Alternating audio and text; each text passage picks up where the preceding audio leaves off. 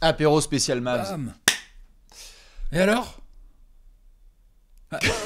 Doncic Alors Mais. Ah Ah, aïe Alors Que se passe-t-il? On s'installe tranquillou bilou. Comment ça va, Alex? Bah écoute, ça va, ça va, ça va, tranquillou. Petit apéro du week-end. Ah, ça y est, on en voit qui débarque tout de suite dans les commentaires. Public Service Announcement. On espère que les fans des Cavs sont contents du Trash Talkers. Depuis la... du 11 novembre, c'est pas le week-end de l'armistice. Hein. Bim, on a des boulettes à distribuer. Effectivement, les pauvres Cavs. Ouais, bah, logique. Après, franchement, c'est un peu facile de se cacher derrière le TT Curse. Soit t'as du mental, soit t'en as pas. Le TT Curse, euh, c'est. Franchement, pour moi, c'est une légende urbaine. Absolument pas, Alex. Je refuse d'entendre de telles blasphèmes. On impose ce qui se passe en NBA. On s'installe tranquille en espérant que vous passez un bon début de week-end. Oui, les Cavs sont passés à la moulinette. Aujourd'hui, ce sont les amis, les Mavs, qui seront les prochains. Je sais qu'à Portland, à Utah, on toque à la Thompson, porte. Hein. Ah oui, oui, oui. Il y, a du, il y a du fan de Portland dans les DM, il y a des fans de Utah, il y a des fans de plein de franchises. Tranquille, on, est en début de saison, donc on essaye de traiter euh, tout le monde, mon cher Alex. C'est pas facile de faire des apéros sur toutes les équipes. C'est vrai qu'il y a pas mal de choses en ce début de saison. Euh, je t'ai même pas proposé, mais moi j'ai un petit sujet Sixers aussi euh, qui traîne dans les tuyaux euh, potentiellement, hein, éventuellement. Ah, il y a des sujets partout. Hein. Ah, bah, des sujets, il y en a. Hein. Ah, bah, Donc, hein. bah voilà quoi. C'est vrai qu'on a une saison. Il y a de la surprise. Il y a des équipes qui surperforment. Il y en a qui qui ne surperforme pas. Ah, qui hein. sous-performe même. voilà. Donc, ouais, il y a plein de choses à dire. Euh, effectivement, euh, le jazz de Mark Cannon, le All-Star, on, va forcément y venir à un moment ou à un autre. Tout à fait. Euh, Jamorant et Desmond Bain sont-ils le meilleur backcourt de l'histoire de l'humanité? Triangle et Dejounte, ça va très bien. Les Bucks vont-ils perdre un match? Tout ça, vous en faites pas. On en parlera dans différentes émissions. Aujourd'hui, nous sommes à Dallas, au Texas, ou plutôt en retour de déplacement. Pourquoi? Parce qu'au moment où on parle, nous avons joué donc 11 rencontres chez nos amis les Mavericks. Et on voulait faire un petit point, à la fois nous de discussion entre Alex et Bibi, de choses qu'on a pu voir aussi sur les sociaux, et puis de tendances qui sont confirmées dans les propos des joueurs ou entraîneurs euh, de Dallas. Alex, on a fait une couverture là, discuter un petit peu avec euh, Léonce, car on a une belle, euh, une belle métaphore hein, de Atlas, la mythologie d'Atlas, toute la Terre, le monde entier, l'univers sur les épaules. Luca, on s'attendait en début de saison à ce que la charge soit assez importante pour tout un tas de raisons, sa forme personnelle, l'absence de Jalen Bronson parti à, à New York. Mais là de base, j'ai envie de te lancer tout de suite dessus on a vu des bases, lui déjà à titre individuel, où on peut faire des classements de meilleurs joueurs de haut monde avec Yanis. Lui, il répond présent. Ah oui, non, non, mais euh, c'est un génie. Ça, maintenant, je pense que c'est assez acquis. Mais en plus, c'est un génie productif.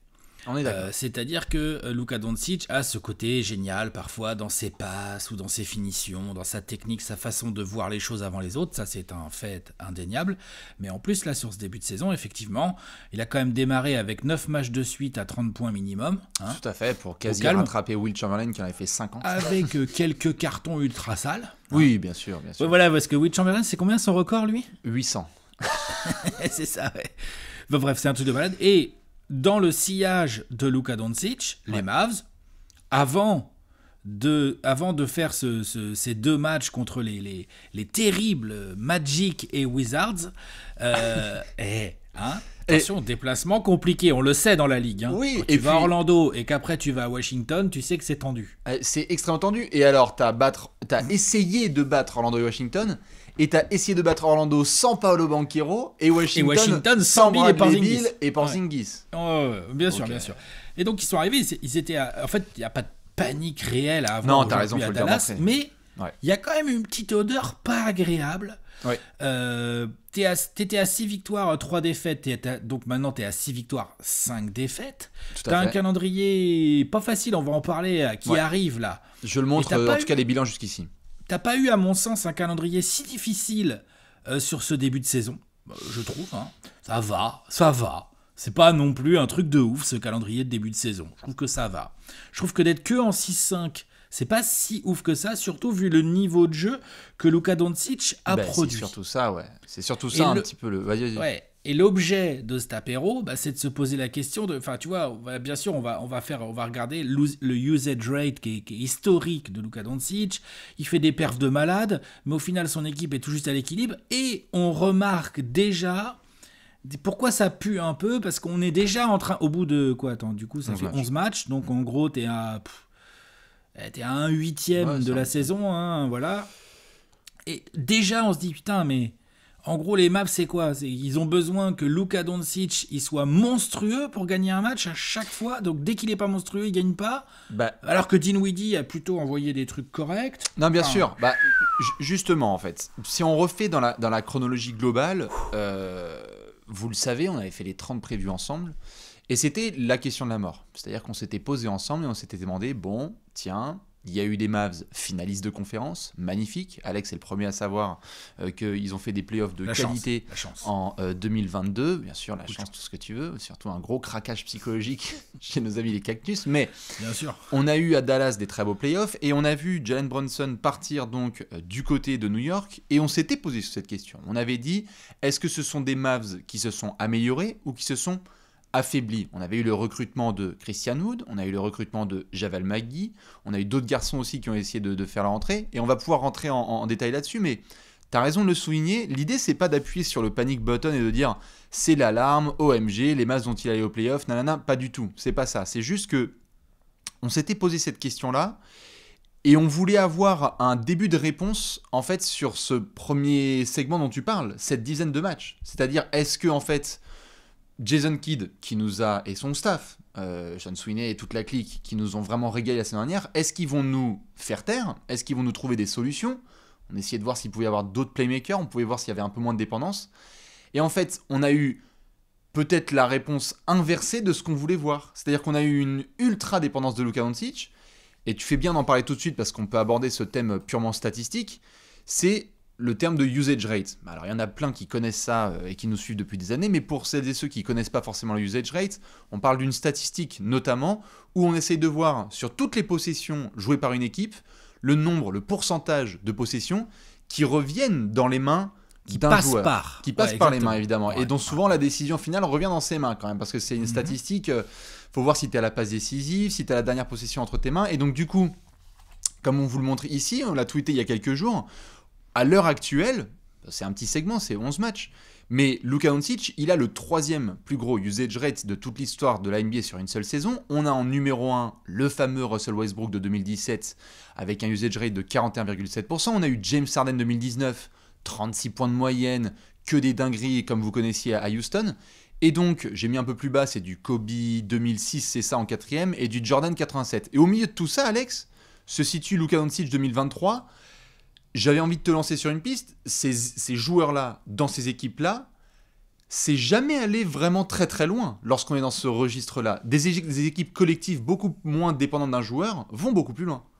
Pour une raison très simple, c'est que quand ça se durcit, soit dans des matchs de régulière et principalement dans des séries de playoffs où ça s'ajuste tactiquement, et eh ben en fait, si tu n'as qu'une seule vraie grosse option, bah souvent tu te fais fumer. Surtout à un level comme, comme la NBA peut nous en montrer, où là on voit des équipes, genre aujourd'hui, aujourd'hui, hein, tu, quand tu vois jouer les Celtics, les Bucks, les Cavs, les Nuggets, les, Cavs, les, Grizzlies, les Nuggets, pourquoi pas les Warriors qui, commencent à reprendre un peu du poil de la bête. Mais enfin, on va quand même attendre avant de. Voilà.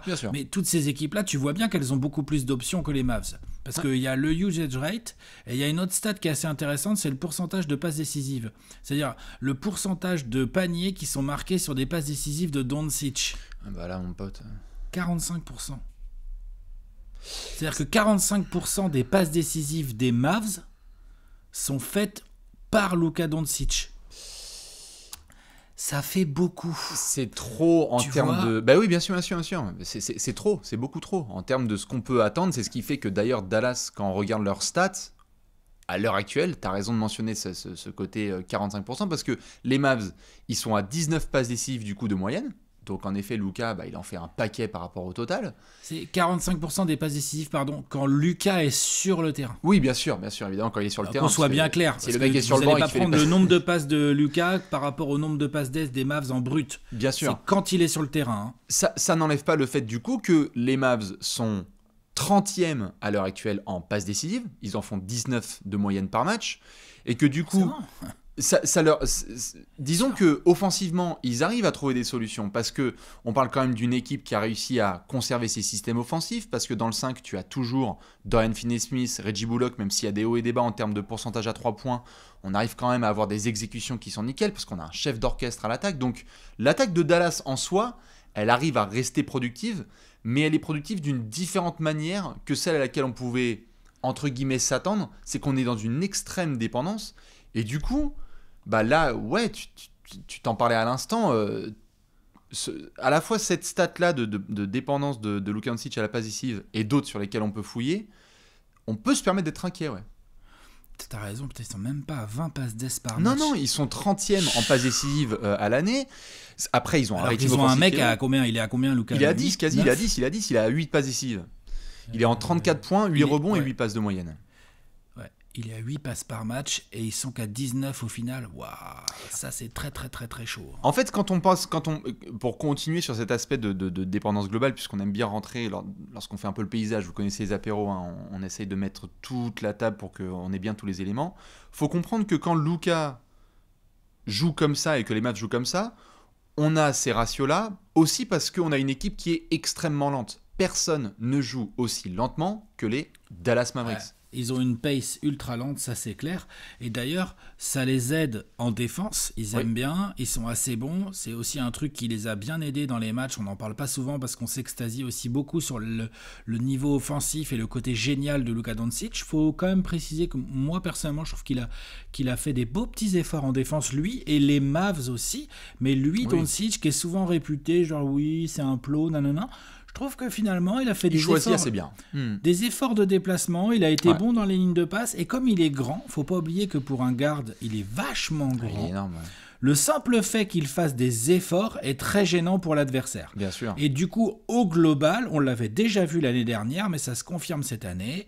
Les Mavs sont capables, avec les Dorian Finney-Smith, les Reggie Bullock, euh, des garçons comme ça et tout, qui, qui, sont très bons sur les secteurs, euh, les secteurs euh, forwards, quoi ils sont capables, les Mavs, d'avoir une défense. Bah, elle est top 10 hein, en ratings, la défense des Mavs. Bien sûr. C'est quand même vachement intéressant. La pace doit quand même pas mal les aider. Bah, complètement. Le rythme lent, ça joue quand même vachement dans leur faveur. Bah, évidemment, tu as raison. Et, pour ça, imaginez-vous, juste pour ceux qui n'ont pas forcément la logique, vous êtes sur une équipe qui est lente. Donc, lorsqu'elle score, notamment parce qu'on est sur une équipe lente et efficace, du coup, de base, l'adversaire, il doit attaquer sur remise en jeu. Donc, forcément, le nombre de contre-attaques que tu te prends est minime. Dallas, numéro 1 en 3 points encaissés et en 3 points laissés, c'est-à-dire tentés par l'adversaire. Ils sont numéro 1 de la ligue. Quand tu joues Dallas, c'est compliqué de tenter les 3 points et de les rentrer. Donc forcément tu attaques plus lentement, donc tes ratings défensifs sont meilleurs.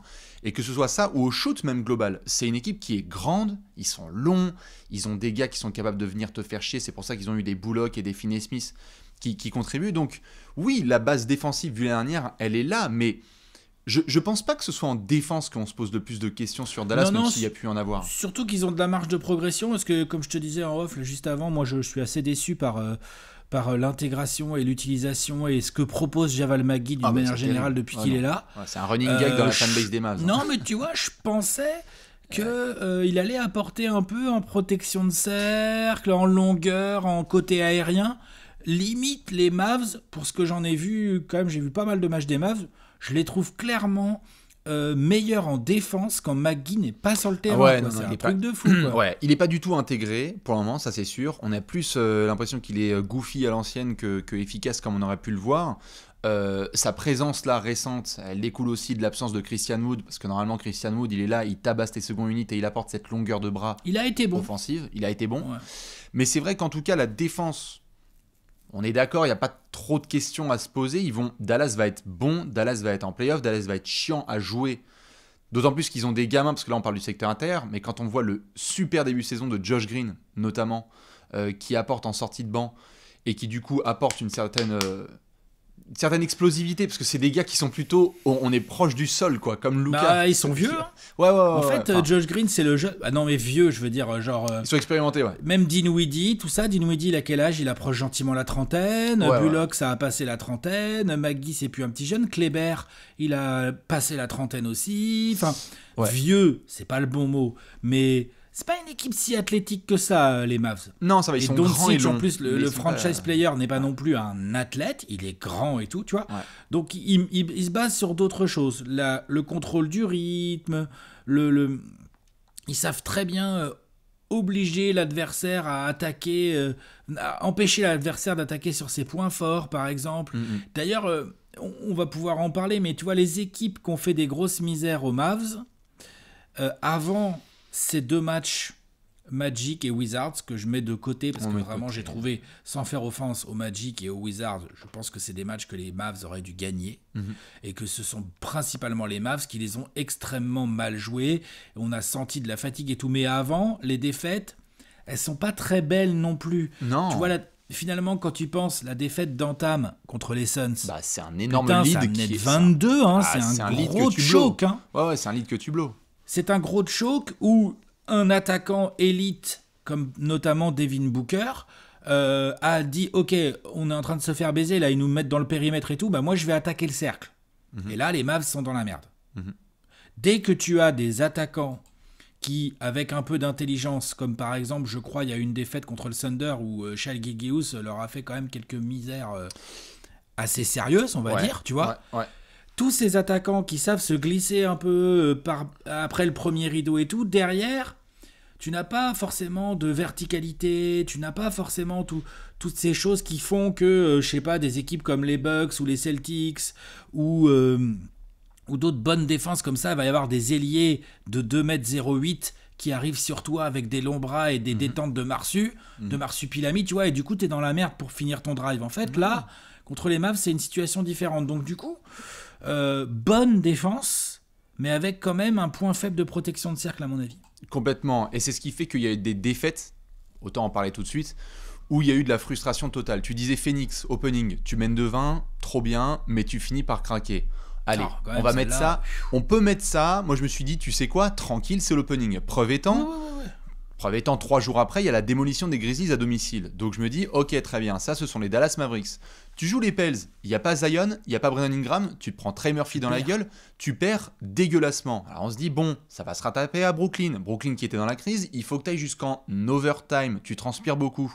Oklahoma City, tu mènes, tu mènes, il y a un choke énorme. Isaiah Joe qui prend feu, Lou Gensdort qui défend bien sur le Doncic, Shai Juice aussi qui fait le travail, mais c'est encore une fin de match où Dallas ne gère pas et ils se font peur. Ils se font peur contre Toronto, ils se font encore peur contre Brooklyn.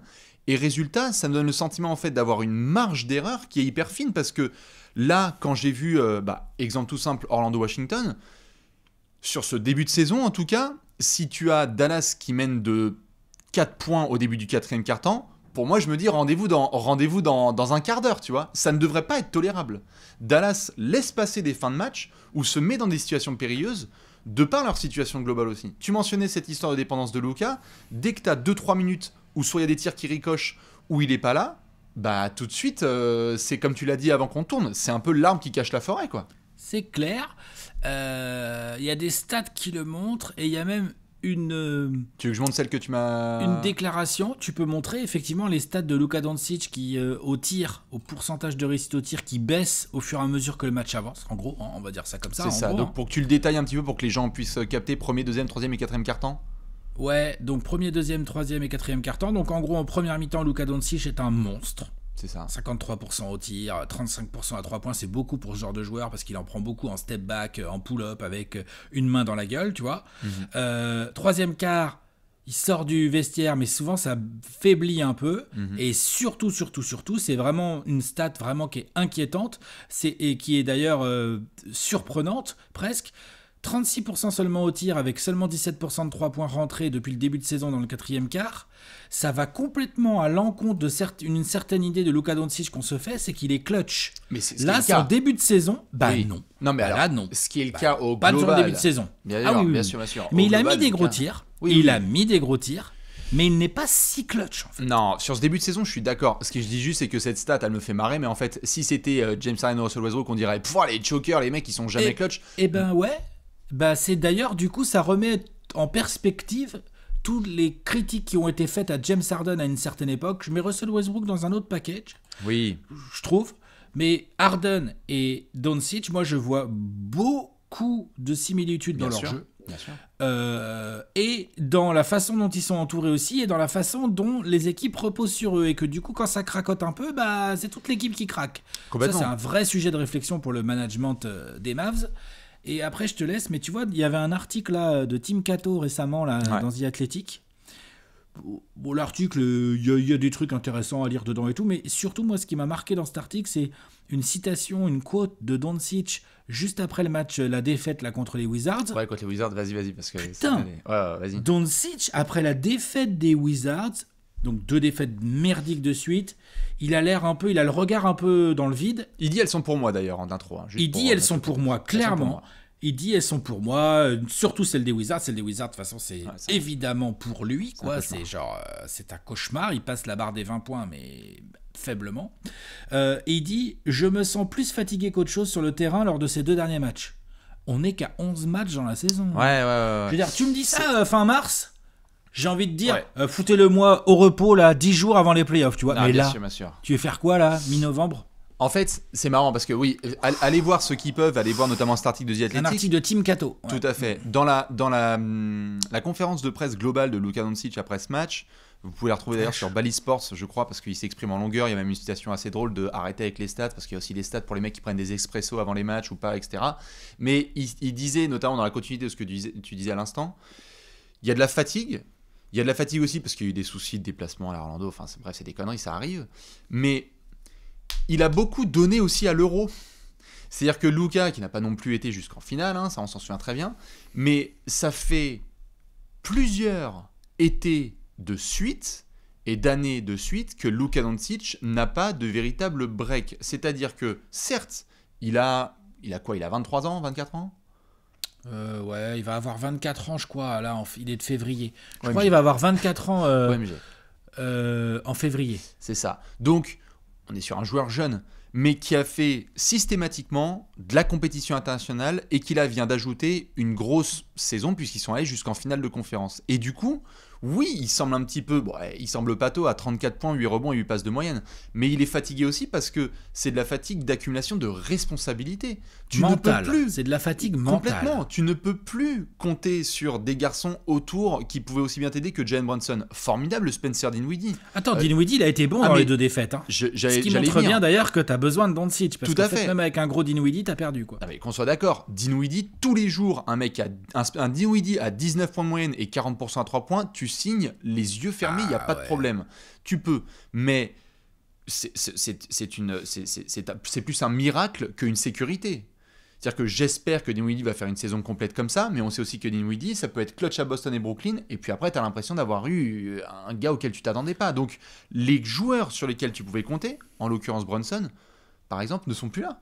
Je suis d'accord. Après, pour juste finir sur Dinwiddie, je prie. Ce qui est fou, je suis d'accord, Dinwiddie n'est pas forcément un modèle de régularité, donc ça, on peut peut-être s'attendre à des hauts et des bas dans la saison. Mhm. Mais justement, quand là, il y a eu des hauts, et ils ont perdu. Ben, c'est ça. Dans les hauts de Dinwiddie, tu perds parce que Luca est un peu. Euh, ouais, il a, il a paru pas dedans, là, dans, surtout le match contre les Wizards. Le Magic, je sais pas trop et tout. Mais les Wizards en fait, ouais, en fait, Orlando et, Washington, moi j'étais assez intéressé par ces deux matchs de base, parce que notamment il y en avait un qui était plus tôt que, que l'autre. Orlando, contexte assez particulier, ils n'avaient pas Balo Banquero et ils ont fait de la merde, mais avec, une M, avec un M majuscule, le soir euh, du lundi, où toutes les équipes ont joué parce qu'ils se sont fait éclater par Houston. Donc je pense qu'ils étaient un peu remués et qu'ils ont dit, tu sais quoi, on va se reprendre sur le match suivant, ça arrive, mercredi Panzani, tu joues les Mavs, et ils ont très bien tenu magnifique. Shuma Okeke, tout le système défensif qui a été mis.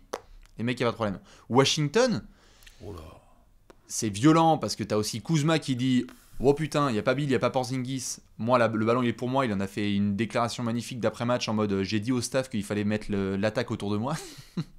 Kuzma. c'est un bon. Hein. Ouais, c'est un, un, bon. Mais du coup, ils se sont permis parce que parce qu'ils ont vu qu'il il fallait pas grand chose pour faire douter ces Mavs. Et c'est ça qui m'inquiète. C'est que tu as l'impression que aussi. quand tu arrives à 8 minutes de la fin, si tu les pousses un peu, tu peux les mettre dans, dans une sorte de semi-sauce qui est pas attendue en fait. T'as vu les matchs de Gafford et Hachimura? C'est des bons joueurs, hein, c'est des joueurs jeunes.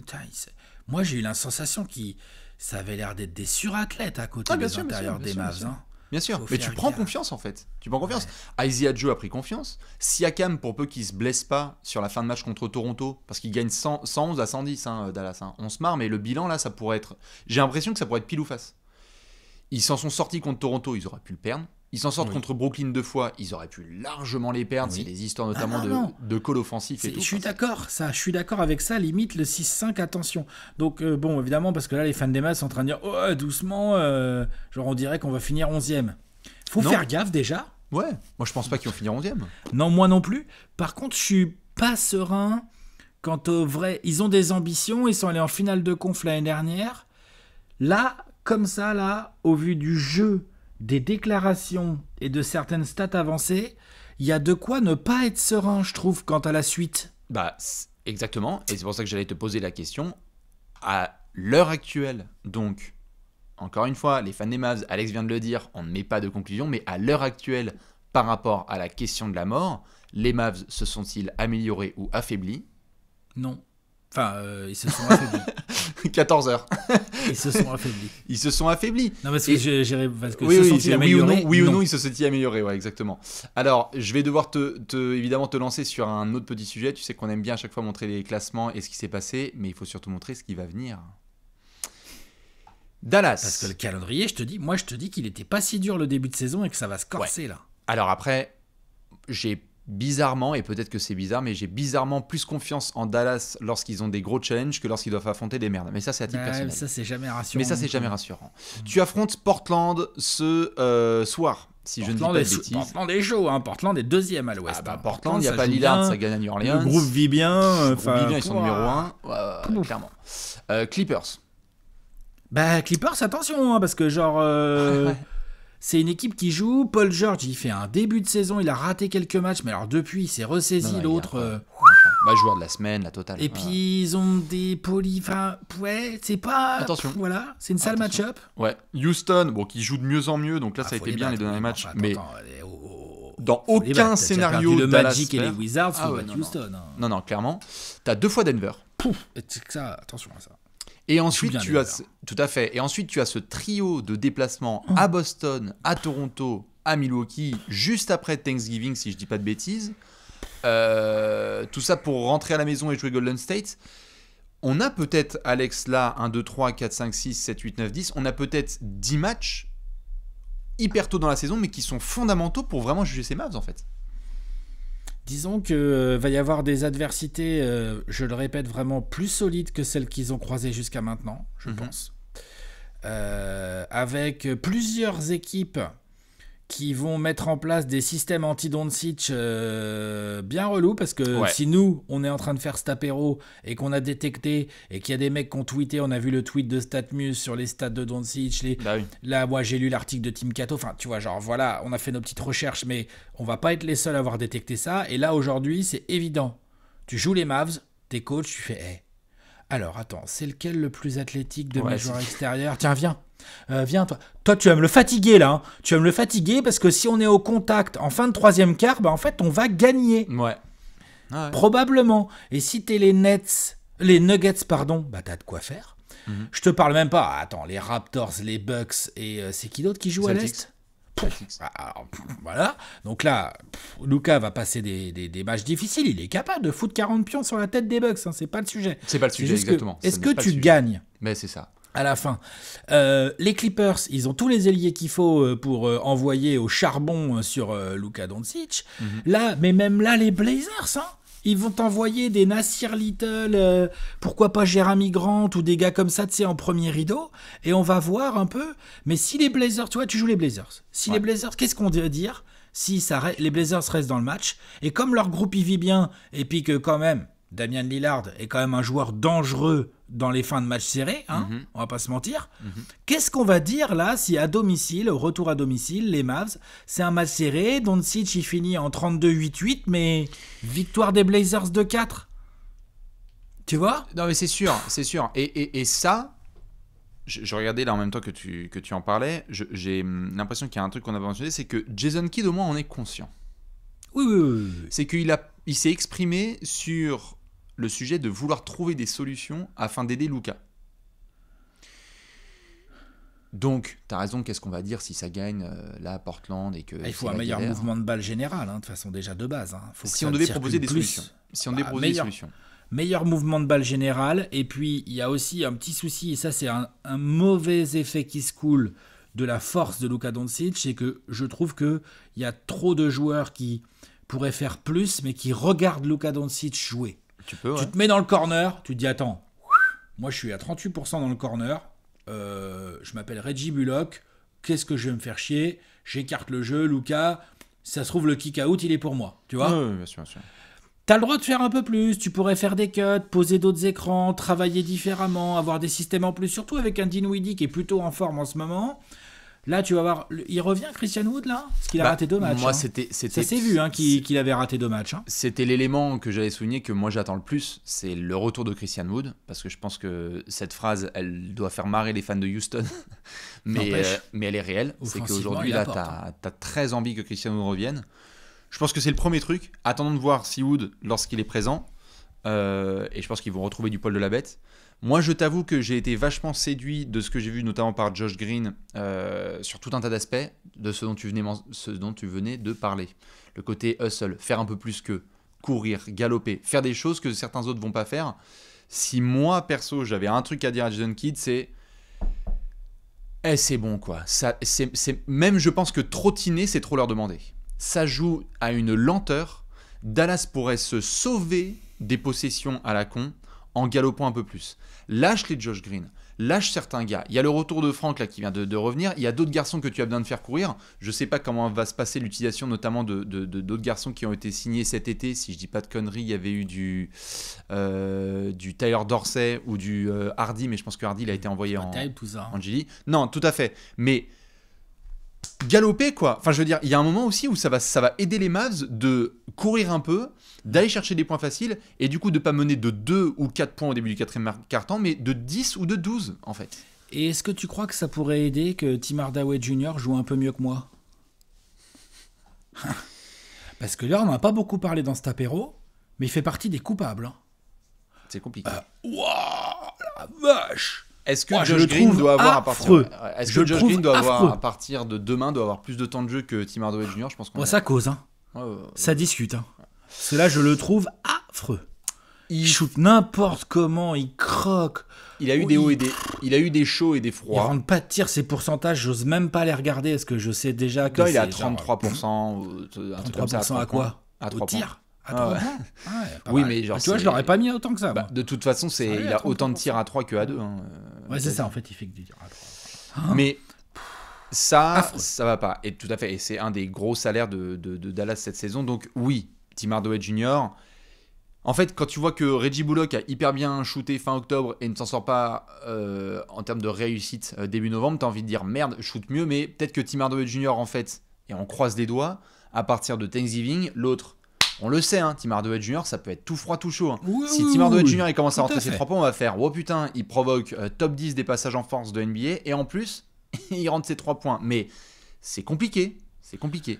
C'est compliqué parce qu'en défense, vraiment, il fait pas les efforts, il est, il est pas bon, il, il est pas concentré. Ah, donc si le mec il apporte euh, des, pourcentages catastrophiques en attaque, euh, c'est dur, c'est dur, c'est dur, c'est dur, c'est complique quand même. Hein. C'est sûr.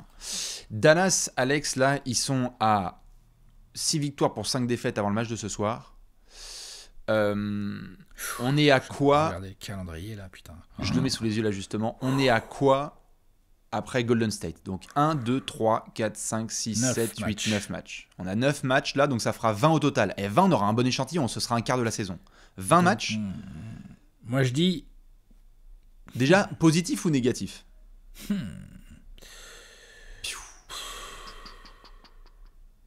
Moi, je pense qu'il reste en positif. 10-10. 50%. Ah la, ah la pisse au milieu, quoi. Bah, c'est un, peu à l'image des, ma... un peu l'image des ouais, ouais, Exactement. ouais, ouais, ouais, ouais, ouais. Non, c'est sûr. Euh... Attends, le, le, petit road trip à l'est, là? Non, non, c'est relou. C'est intérêt d'arriver avec des wins là-bas. Bah, il faut, il faut, il faut.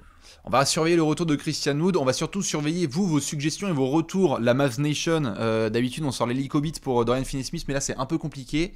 Euh, dites-nous ce que vous pensez de tout ça. Dites-nous quelles solutions vous euh, apporteriez au staff de Jason Kidd. Et surtout, comment faire pour Luka Doncic, parce que on en a parlé évidemment au début, on est dans la discussion de MVP, des MVP qui sont à 50% dans leur équipe en termes de bilan, il n'y en a pas trop trop hein, dans l'histoire. C'est un peu compliqué. Dans tous les cas, ce qui est sûr, c'est que je vais vous faire des bisous et je vais laisser Alex avec le petit mot de la fin. Le petit mot de la fin, c'est euh, faites attention à Luca quand même. Les génies, ça se, ça se polie. Tout à fait. On vous fait des bisous et à très vite sur la chaîne YouTube Trash Talk. Ciao. Ciao.